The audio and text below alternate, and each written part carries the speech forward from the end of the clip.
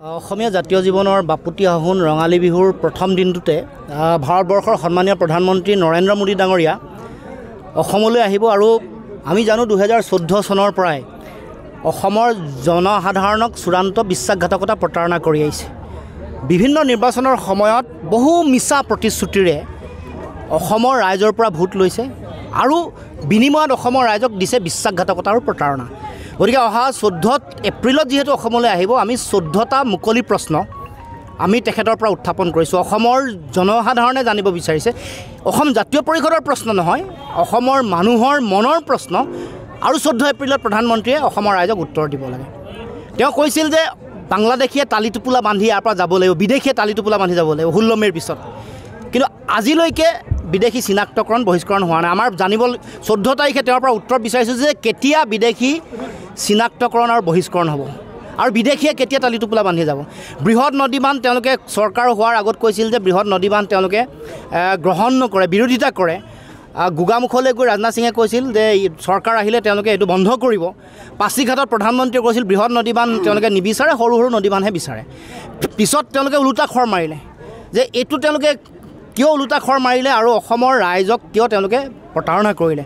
তাৰ লগে লগে অসম চুক্তি ছয় নম্বৰ দফা কাৰ্যকৰী কৰা নাই কেতিয়া কাৰ্যকৰী কৰিব কেতিয়া গ্ৰহণ কৰিব? এনেকুৱা বিভিন্ন প্ৰশ্ন তাৰ। শেহতীয়াকৈ আপোনালোকে জানে যে অসমত কয়লা চিণ্ডিকেট চলি আছে। কয়লা চিণ্ডিকেট উপৰিও বিভিন্ন ধৰণৰ চিণ্ডিকেট চলি আছে। চুপাৰী চিণ্ডিকেট চলি আছে গৰুৰ চিণ্ডিকেটো চলি আছে। বিভিন্ন বিষয়ত চিণ্ডিকেট চলি আছে কমিশ্যন ৰাজ। এইবোৰ বন্ধ কেতিয়া হ'ব? এইটো প্ৰধানমন্ত্ৰীয়ে উত্তৰ দিবলৈ এনেকুৱা ধৰণৰ চৈধ্যটা বিষয় আমি উত্থাপন কৰিছোঁ কৃষকৰ আয় কেতিয়া দুগুণ হ'ব? দুগুণ হ'ব বুলি কৈছিল। পোন্ধৰ লাখ টকা আমাৰ একাউণ্টত কেতিয়া জমা হ'ব? অসমৰ মানুহৰ কাৰণে ভাল দিন কেতিয়া আহিব? আচ্ছা দিন আহিব বুলি কৈছিল নহয়। কেতিয়া আহিব? সাতাইছখন টোল গেট আমাক দি দিয়া হ'ব অহা দিনসমূহত। দুহেজাৰ চৈধ্য চনৰ আগত এখনো টোল গেট নাছিল। এতিয়া সাতখন টোল গেট টোল টেক্স বাঢ়িছে আন কৰ কাটল বাঢ়িছে এতিয়া এই টোল টেক্সবোৰ কেতিয়া তেওঁ বন্ধ কৰিব? যে সাতখনৰ পিছত সাতাইছখন হ'ব বন্ধ কেতিয়া কেতিয়া হ'ব? আৰু টোল কৰ যিটো এইটো কেতিয়া নিয়ন্ত্ৰণ হ'ব? গতিকে আমি অত্যাৱশ্যকীয় সা সামগ্ৰীৰ মূল্য বৃদ্ধি হৈছে এইবোৰ নিয়ন্ত্ৰণ কেতিয়া হ'ব? কাৰণ এটা সময়ত পিঁয়াজৰ মালা পিন্ধি মূৰৰ ওপৰত চিলিণ্ডাৰ লৈ আজি সুষমা স্বৰাজ ডাঙৰীয়ানী আমাৰ মাজত নাই কিন্তু তেওঁলোকে প্ৰতিবাদ সাব্যস্ত কৰিছিল। আৰু এইটোৱে দুহেজাৰ চৈধ্য চনত বিজেপি চৰকাৰ অহা দুহেজাৰ ষোল্ল চনত অসমত বিজেপি চৰকাৰ মূল অহা মূল কথাটোৱে আছিল যে মূল্য বৃদ্ধি নিয়ন্ত্ৰণ কৰিব। কিন্তু আজিলৈকে নিয়ন্ত্ৰণ কৰা নাই। বান বৰাহনে সমস্যাটো ৰাষ্ট্ৰীয় সমস্যা হিচাপে সমাধান কৰিব। নাই কৰা।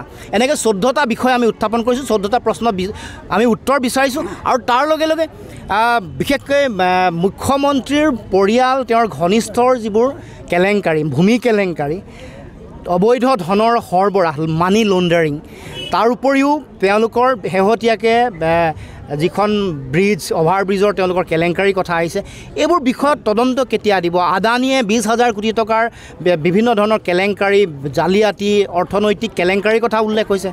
চি বি আই আৰু ই ডিয়ে সাধাৰণতে সাধাৰণ মানুহ আপোনাক মোক যেতিয়া তেতিয়া লগাই দিয়ে চৰকাৰী যন্ত্ৰ ব্যৱহাৰ কৰে। চি বি আই আৰু ই ডিৰ তদন্ত কেতিয়া আৰম্ভ হ'ব? আদানীৰ ওপৰত এই কথাবোৰ আমি উত্থাপন কৰিছোঁ। গতিকে আমি ভাবোঁ যে প্ৰধানমন্ত্ৰী অসমলৈ আহিছে। এইবাৰ অন্ততঃ আমাক এই অসমৰ জনগণৰ এই প্ৰশ্নবোৰৰ উত্তৰ যাতে দিয়ে। নে চাওক এ, অসমৰ ভূমি অৰুণাচল মেঘালয় আৰু নাগালেণ্ডক গতাই দিবৰ কাৰণে চৰকাৰে তেওঁলোকে বিভিন্ন সময়ত কাম কাজ কৰিছে। মুখ্যমন্ত্ৰী হিমন্ত বিশ্ব শৰ্মা ডাঙৰীয়াক ৰাষ্ট্ৰীয় পৰ্যায়ত তেওঁৰ এটা ভাৱমূৰ্তি মানে শক্তিশালী কৰিবৰ কাৰণে তে তেওঁ সীমান্ত সমস্যা শেষ কৰিছে সমাধান কৰিছে।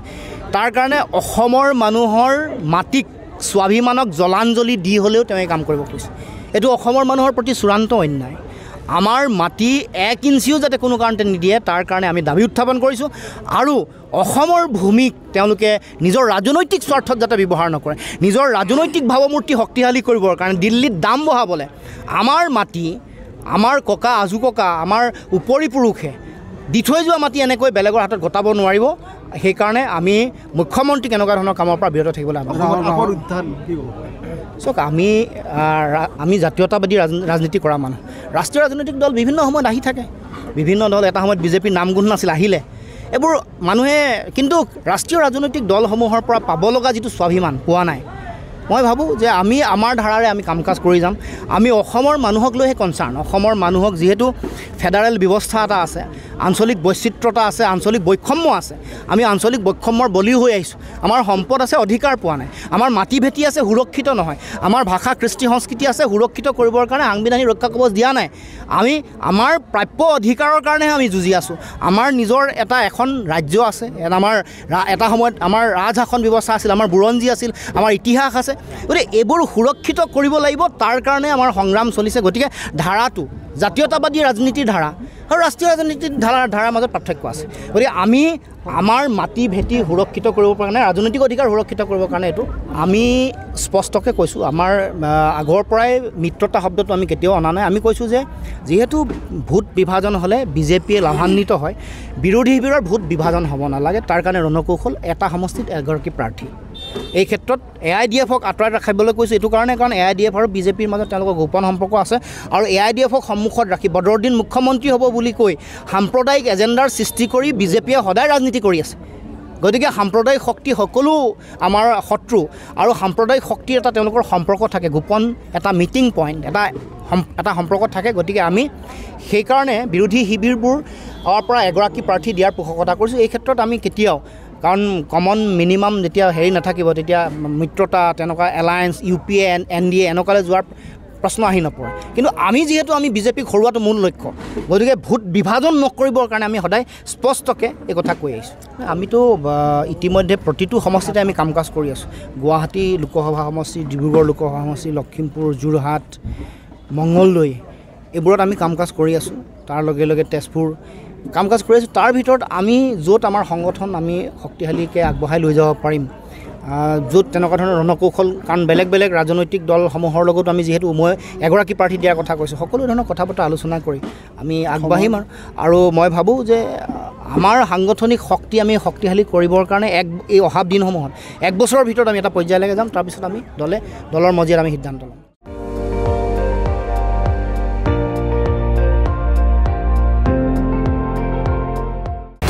আপুনি চাই আছে এন ডি টুৱেণ্টি ফ'ৰ। সৰ্বশ্ৰেষ্ঠ নহয় সৰ্বোত্তমৰ দৌৰত।